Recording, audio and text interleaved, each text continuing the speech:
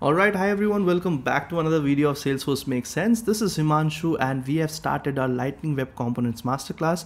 We have done some chapters which are more like just, you know, beginner friendly explainers of understanding where we are at. And now what I want to talk to you about are certain questions that you really have. Do I need to know Aura or JavaScript for this? Right? So I would like to ensure that you already know answers to these questions and so that you know what to expect and why am I here and why are you here and is it making sense to you? Is it important for you and all of that stuff. So I'll just clear the air, air, air around it. So do you need to know Aura or JavaScript for it? Uh, for this, I've actually listed down certain points and we'll actually look at them one by one. Okay, first point, you don't need to learn Aura. It's not a prerequisite. So that's a plus point. For those of you who do not know Aura, you don't have to worry okay? And for those of you who know aura it's fine okay? It's fine. So even if you have never touched aura this course is designed to teach you everything from scratch. You don't really need aura. That's the first thing okay?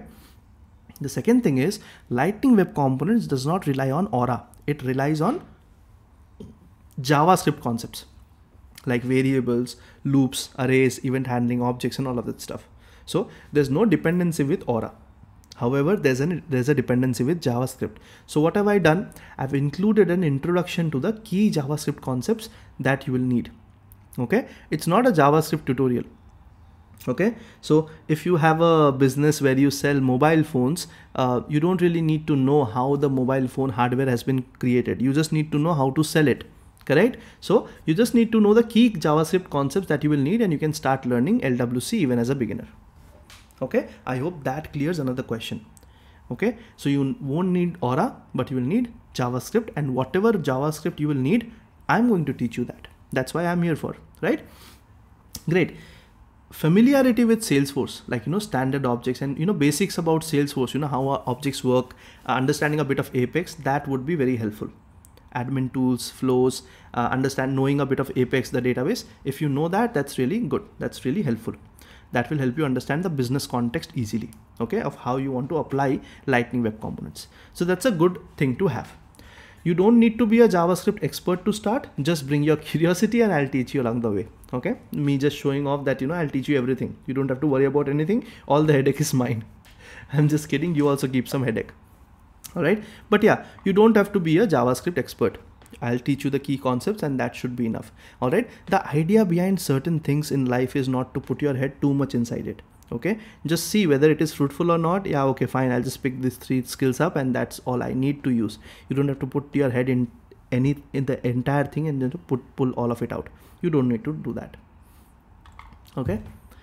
So you will learn both JavaScript and LWC together. So for those of you who do not know JavaScript, who does not know LWC, who does not know Aura, it's okay we are going to learn JavaScript and LWC together. There's no pipeline here that I need to first. A lot of people tell me, uh, Himanshu, do I need to learn JavaScript first? Which course should I pick up? Where do I find JavaScript tutorials? Should I start from scratch from the very basic? People like to, you know, put it on their notes, put it, start from the very basic, let a equal to one and do hello world on JavaScript. Then after six years come to LWC. Let's not do that. Whatever you need from JavaScript, I'll teach you alongside LWC.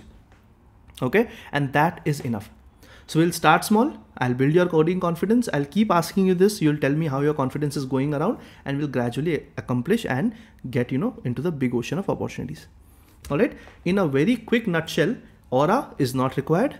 JavaScript is helpful if you know it already and coding is nice to have. When I say coding, I mean Apex and relate, uh, other related coding experience if you have. It is a nice to have, but if you don't have it, it's okay. Uh, you'll have to uh, try to make sense of everything I explain okay? And javascript if you already know it's helpful but if you don't i am going to put out a set of tutorials before we, start lwc all right great. That's the second time this picture is coming up. Do tell me in the comments how this photo looks compared to the previous one. Uh, just just for fun you know nothing serious. So yeah that's me. And uh, that's all i wanted to cover. I hope our key questions around aura versus javascript versus lwc is covered and you are sorted in your head that you know what you need all right? Great. That's all for this particular tutorial. I'll see you in the next one. Bye